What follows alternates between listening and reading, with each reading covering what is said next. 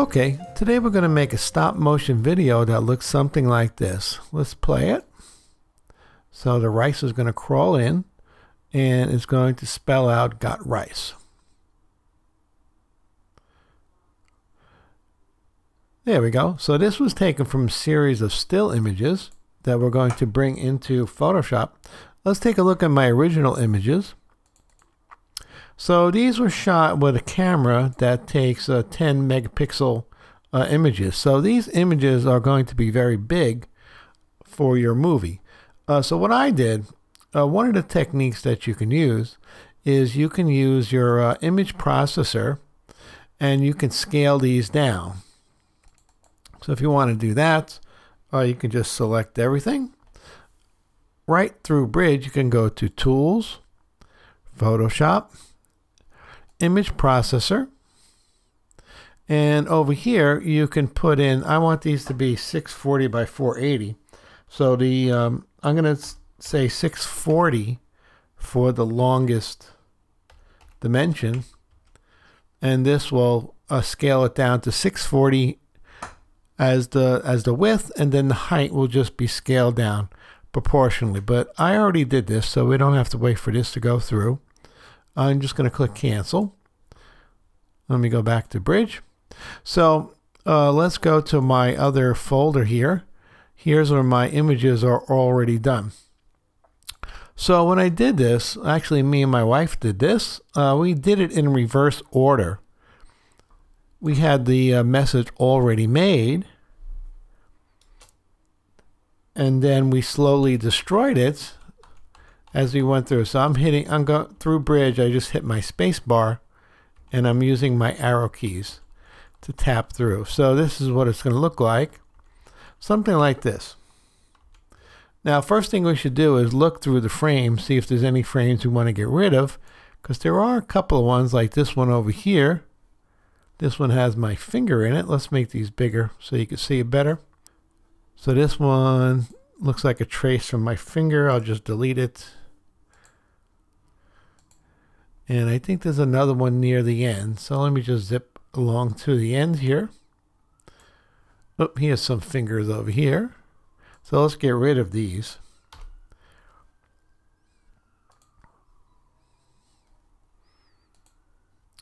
So what we need to do, we need to put these in a numbered sequence in the sequence that we want them to appear. So right now these are in the wrong sequence. And also because we deleted a couple images there's going to be a gap. So what I'm going to do is I'm going to rename these images. And we could do that through Bridge also. All I have to do is, is reverse the sort order, which we can do in Bridge up on the top here.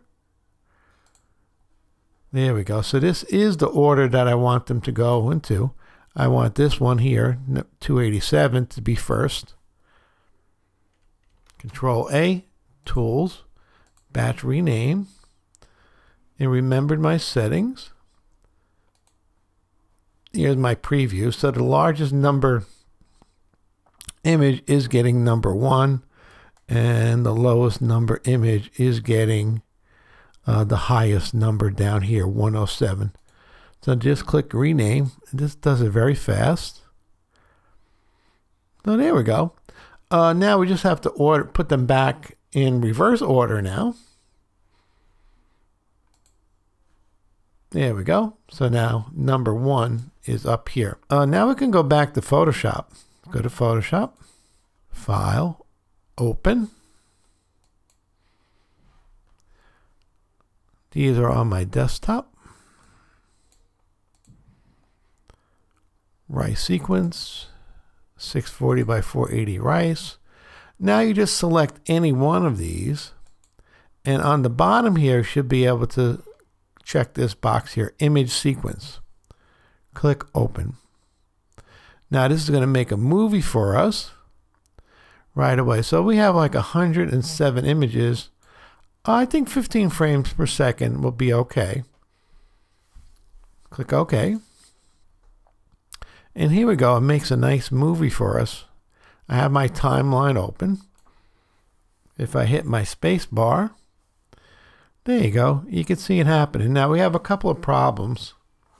Uh, one of the things is we have that uh, dot in the in the middle there. Uh, this my wife was using for reference, so we have to get rid of that. So we're going to have to retouch this uh, frame by frame. This we can do actually very quickly. Um, playhead came back to the beginning. In this case, I think we can just use the spot healing brush tool. And all I have to do is uh, click on the black dot here, then hit my right arrow key.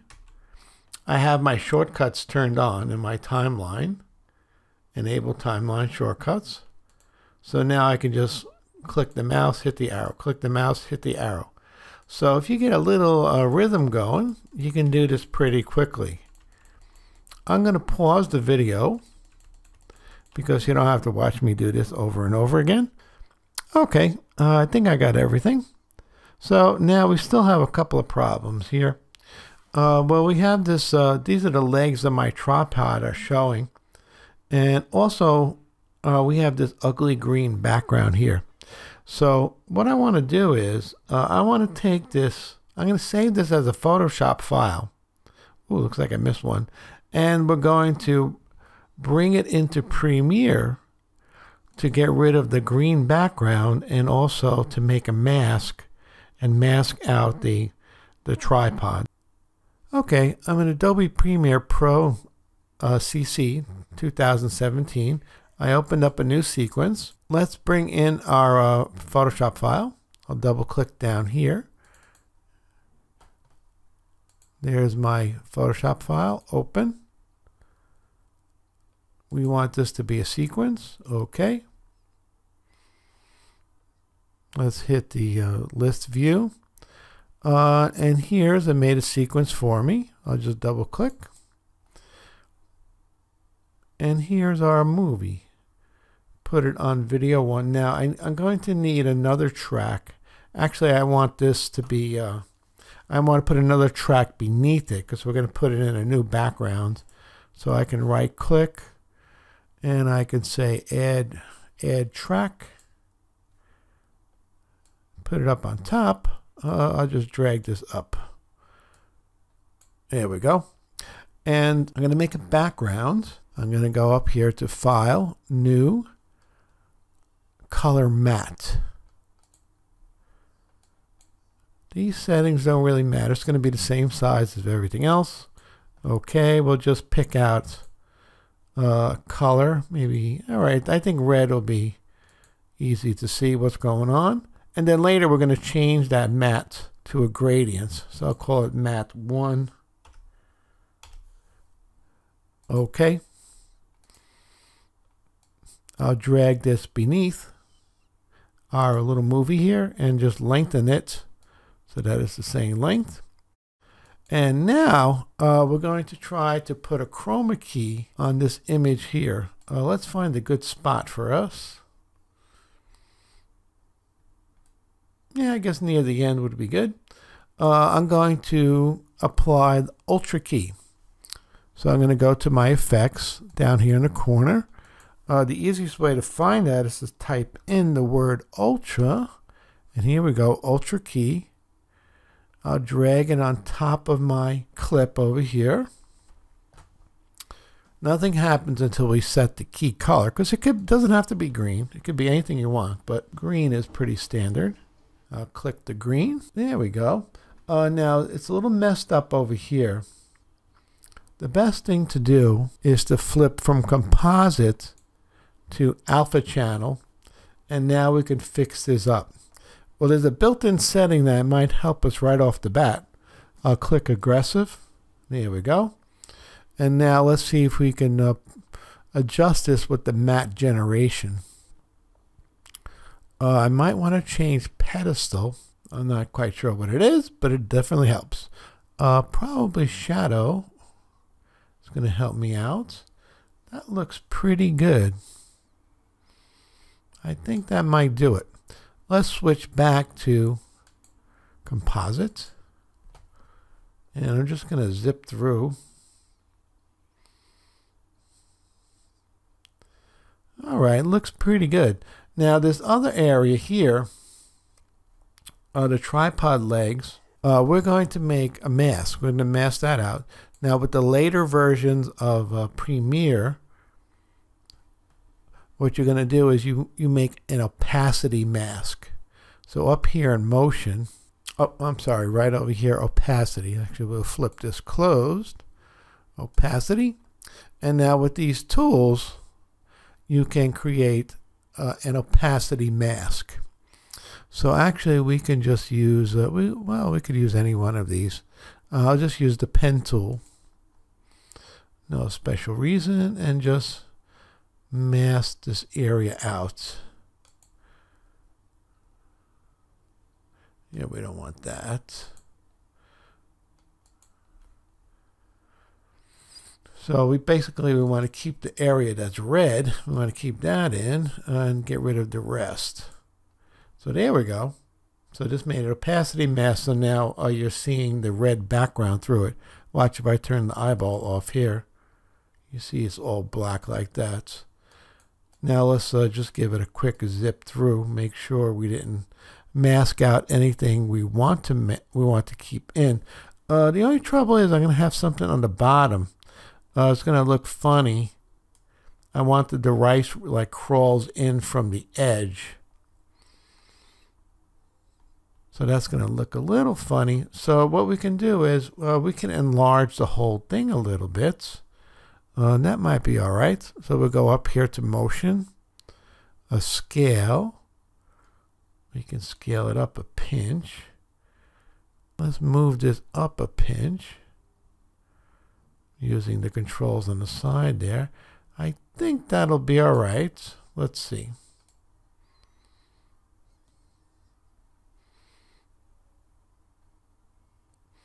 Yeah, that looks okay to me. Good enough anyway. Okay, uh, almost there. Uh, I want to create a gradient background here.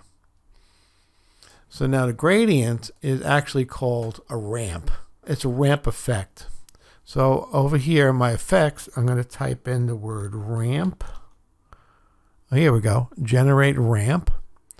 And I'm going to drag it on top of my red background like so. Oh, not too bad. So anyway, if I was doing this from scratch over here, uh, you could put in your start and end color. Uh, I just want to adjust this a little bit. So we're going to use start of ramp. Over here we can change the position of where the ramp starts. I think this is what we want. And now also maybe we don't want it to be so dramatic. Uh, maybe we just want a, like a light gray to a slightly darker gray. Uh, let's start on the bottom.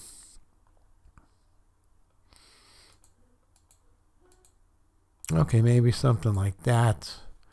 And instead of black, we'll just use something not quite so dark. So it's a little more subtle. Maybe that's too subtle.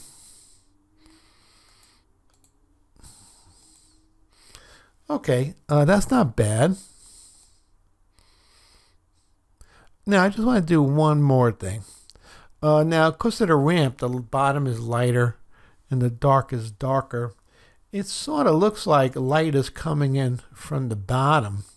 So what might make this look a little bit better is if we, uh, we give this a drop shadow. Now, probably want the shadow to go up to match our lighting here. So I could come back over here, start typing in drop shadow. Here we go, perspective drop shadow. Why it's in perspective, I don't know. I'll put it on top of my uh, clip over here. And now in our effects panel, we can adjust this. So I don't want the light going that way. I want the light going up. So we'll have to change the direction. Oh, there we go. I think that's okay. Uh, distance maybe just a little bit more. Let's soften it a little bit. Oh, let's bring the opacity down a bit. Happen to the softness. Went the wrong way. Okay, pretty good. Uh, let's take one more look. Only this time we'll um, we'll do full quality. And I'll hit the tilde key to go full screen. Let's see what we get.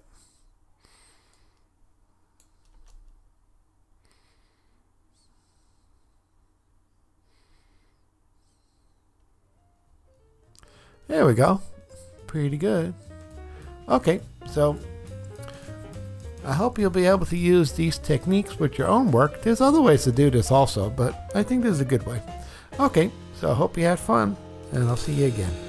Bye-bye.